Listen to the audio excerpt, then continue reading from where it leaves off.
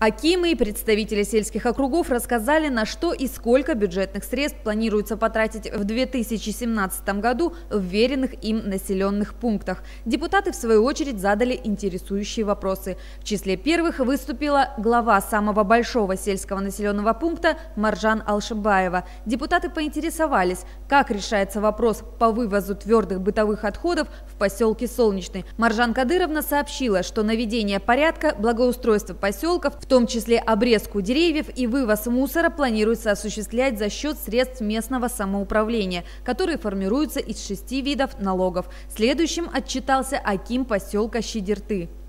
При уточнении в этом году у нас э, по второй программе выделялись деньги на, э, на разработку ПСД, проведение капитального ремонта ДК, потом э, с резерва правительства были выделены 8,5 миллионов тенге на благоустройство торговых работы завершены. Так, э, на следующий год 78 э, миллионов 599 тысяч тенге, из них по первой содержание аппарата это 19 миллионов тенге. Э, организация бесплатного подвоза учащихся до школы и обратно миллион 616 тенге. Обеспечение дошкольного воспитания садика у нас тут 7 миллионов 254 тысяч тенге. Социальное обслуживание на дому 3 миллиона 525 тысяч тенге. Насыщение улиц 5 миллионов 904 тысяч тенге. Поддержка культурно-досуговой работы на местном уровне по 10 миллионов 655 тысяч тенге. Содержание ДК. И обеспечение функционирования автомобильных дорог 226 тысяч. В свете последних событий в соседней России депутаты просили заострить внимание руководителей сел на том, какие меры безопасности предприняты при перевозке детей. Народные избранники поинтересовались, как организован подвоз детей до школ и их транспортировка в Экибастуз для прохождения единого национального тестирования. Мурат Кокожанов ознакомил присутствующих с проектом расходов бюджетных программ на 2017 год в селе имени Алькея Маргулана.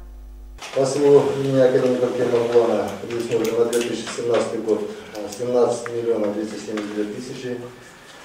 Это в том числе услуги по обеспечению деятельности Акима 12 миллионов 903 тысячи, содержание штатной численности 4 единицы, технический персонал 10 единиц. Организация в экстренных случаях доставки тяжелобольных людей до ближайшей организации здравоохранения, это врачебная помощь 513 тысяч, 513 тысяч тенге, в том числе заработная плата водителя приобретения ГСМ и запчастей.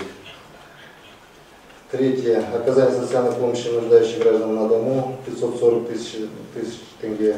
Содержание одного соцработника по уходу а, обслуживающего трех ресторанов одиноких проживающих на дому 0,6 ставки. Споров и претензий относительно докладов у депутатов не возникло. Учитывая поздний час, некоторые представители сел сразу же после доклада отправились в свои населенные пункты.